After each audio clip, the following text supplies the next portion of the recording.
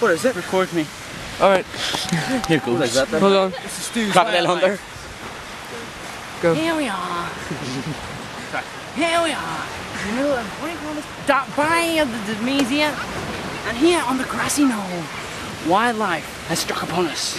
This is the most deadly creature known to man. It is the Anificus bosificus, known as the dragonfly. Now, I wouldn't touch it if I were you. It still has a sting that can be activated after it is deceased. Now, ah! Ah! Ah!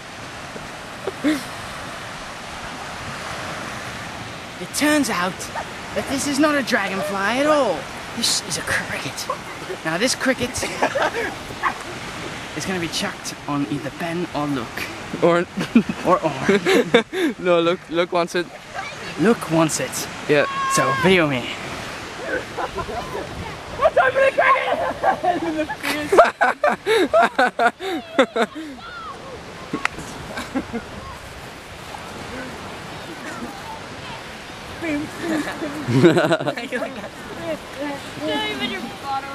Yeah.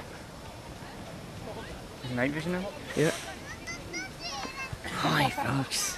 Here we are in the Italian jungles of the North Pacific Atlantic.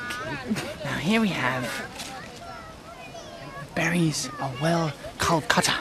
Now, Well Calcutta is a place known only by Calcuttians. Well, Calcuttians. Now, over here, we have the invisible llama.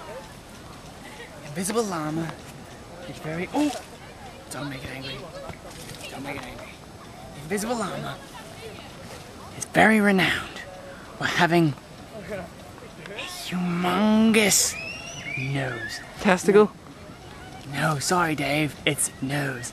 No, wait. Testicle. Yes, testicle.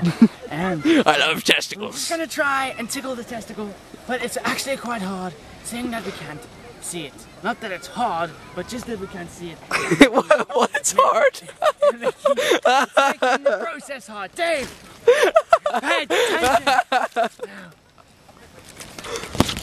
in the outback, we have a jungulus massivus called Ali G. He likes to call himself Ali G too. Now here we're going to tickle.